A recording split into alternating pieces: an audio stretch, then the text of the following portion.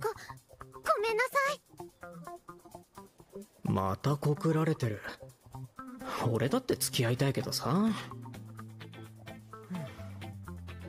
のこのバイト時給高っ。やるしかね佐野くえん？